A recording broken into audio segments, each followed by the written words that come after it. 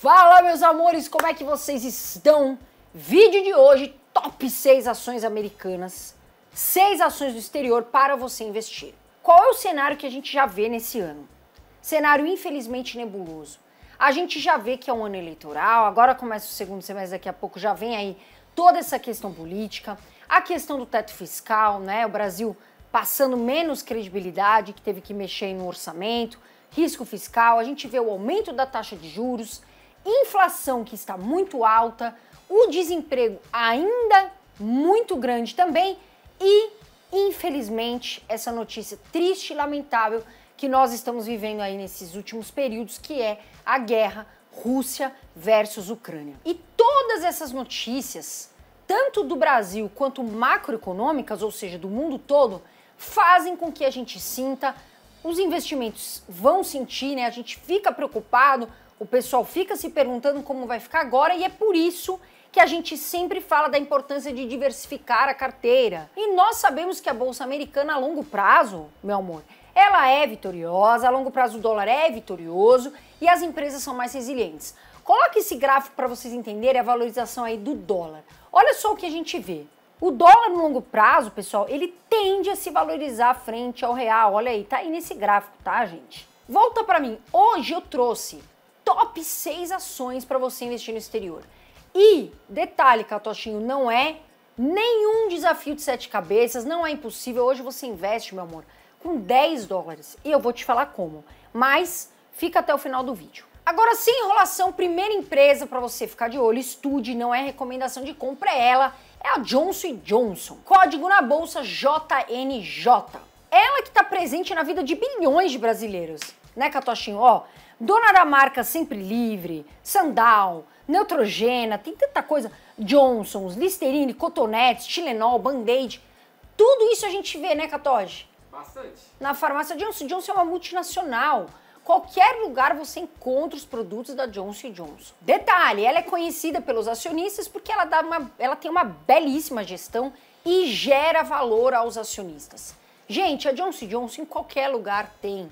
Independente se vai ter guerra ou não, os produtos dela são importantes. Ela tem uma fonte de receita muito grande. Então ela é uma empresa consolidada. Eu, por exemplo, invisto na Johnson Johnson. E para mim é uma empresa que tem retornos excelentes. As ações, atenção aqui, as ações da Johnson Johnson, meu amor, elas têm é, uma estabilidade vulnerável, ela tem bastante volatilidade. Mas, no entanto, olha só o que, que a gente pode ver da empresa.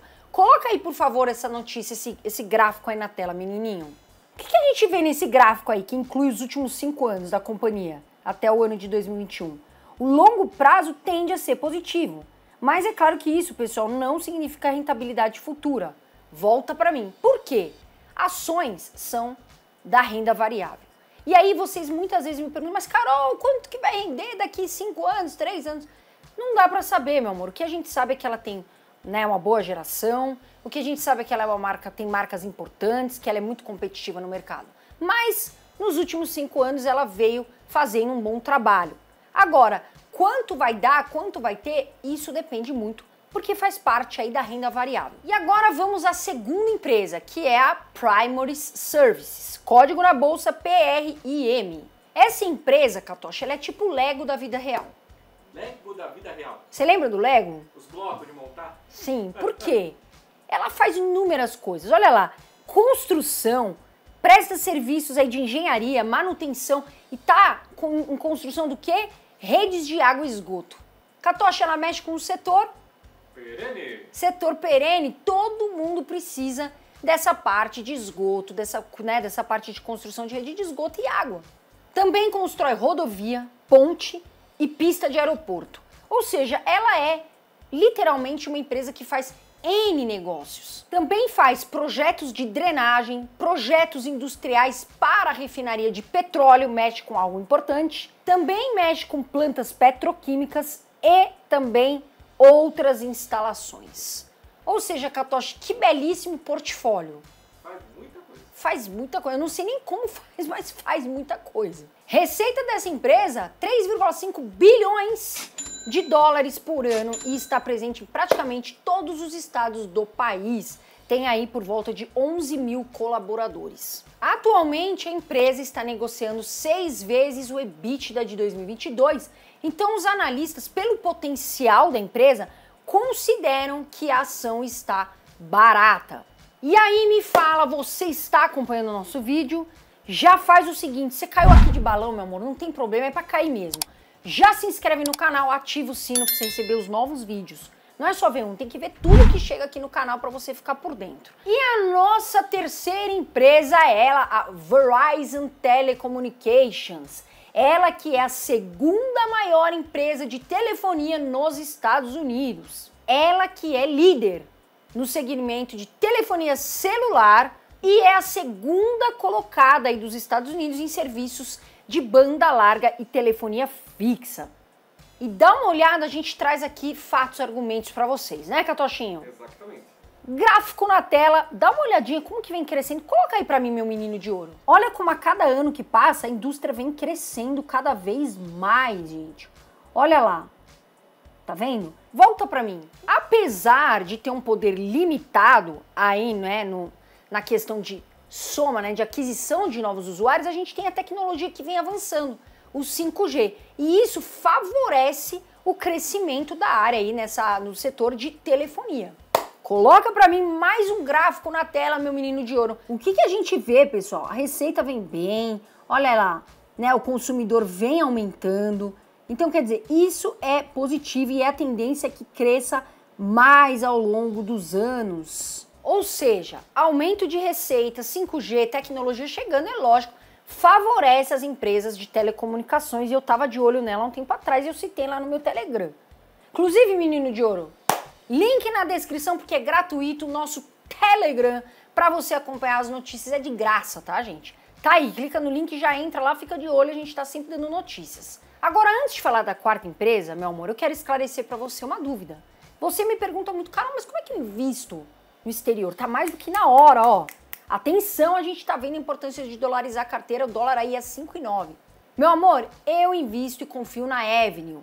Eu vou deixar, tá aqui. Clicou na descrição do vídeo, tem um link. Você vai abrir gratuitamente. Como se você fosse abrir uma conta numa corretora brasileira. Abriu, mas Carol, é tudo em inglês? Não, porque a Avenue já fez a plataforma toda em português para você começar a investir.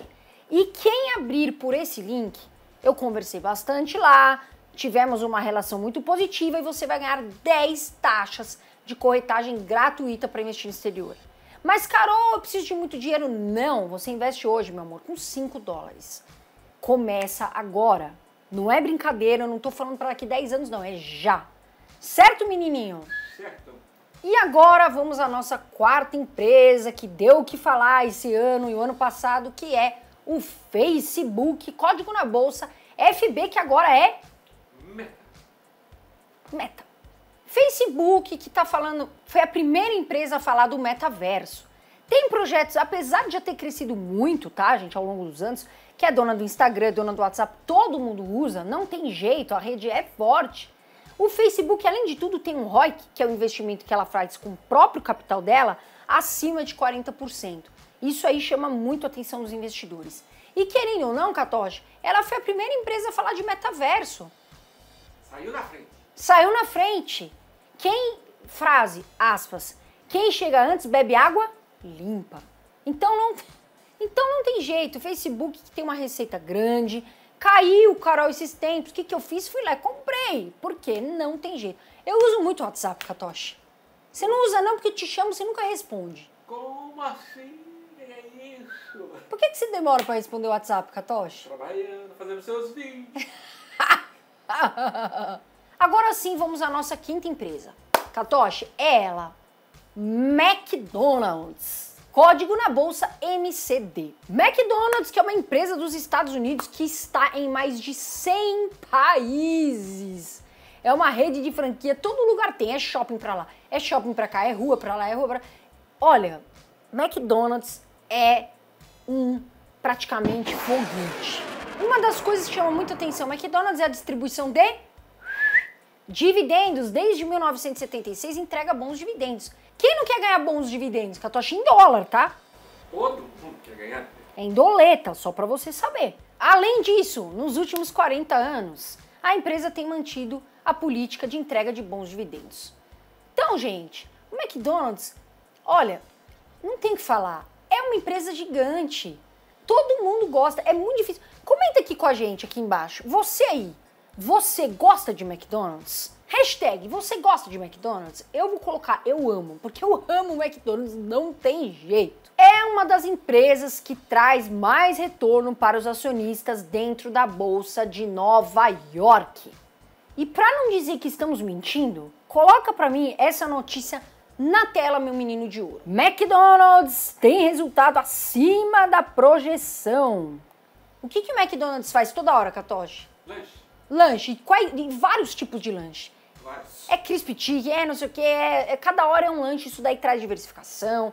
Aumentaram o preço aí durante a pandemia. Durante a pandemia o pessoal pede, não, não interfere, as pessoas continuaram comendo. Então, continuou, teve receita que cresceu, olha aí, ó. Receita líquida cresceu 14%, ganha da concorrência, que a gente sabe o Burger King que eu também adoro, eu adoro qualquer um dos dois, são excelentes, mas o McDonald's tem ainda, continua estando na frente. E os destaques, tá aqui ó, os destaques nesse trimestre foram à venda aí nos Estados Unidos e Reino Unido. Agora, me fala uma coisa, você aí, você aí está curtindo o vídeo? Já dá aquele seu like? Esperto. Por quê? Porque sim, né Katoshi? Tem que dar um like, esperto, só clicar aí no botão. Dá um like pra gente, meu amor, que você já ajuda a gente a divulgar o nosso canal para todo mundo. E a nossa última empresa do vídeo de hoje é a Bright Cove Incorporation, código na bolsa BCOV. Katoshinho, o que faz essa empresa, você que manja desse assunto? Essa é boa. Ela é o Video Cloud. É uma plataforma de vídeo online que serve para as pessoas publicarem os vídeos e distribuir vídeos pela internet. Ou seja, algo que todo mundo faz, né, Katoshinho? Quem trabalha com vídeo e quem gosta de compartilhar vídeo, essa é uma boa. Essa aí é uma boa. Então estude a empresa, saiba detalhes para você investir, meu amor. Não é recomendação. A gente deixa claro aqui que é para você estudar, gente traz opções, fatos and argumentos. Em mais de 70 países, a Bright Cove facilita as empresas a venderem aí para os clientes. É uma tecnologia em vídeo, facilita muito a vida das empresas e também dos clientes que querem comprar. E você me comenta aqui, meu amor, você já investe no exterior? Eu quero saber o seguinte, você investe no exterior? Porque tá na hora. Chega de me enrolar, chega de desculpa, tá fácil, link na descrição, gratuitamente, clicou, você já abre sua conta e começa lá com 10 dólares, 15 dólares, 5 dólares, o que você quiser, mas está na hora. Certo, meu menino?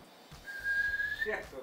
Vamos deixar aqui um card com três empresas, três top empresas que estão baratas para investir no exterior. Quer saber quais são? Já corre aqui no vídeo e vê. Por hoje é só, certo, menininho? Por hoje é só. Não temos mais o que falar, mas a gente volta com certeza. Um grande beijo de luz, I love you. Kisses. Voa Brasil! Fiquem com Deus e até o próximo vídeo.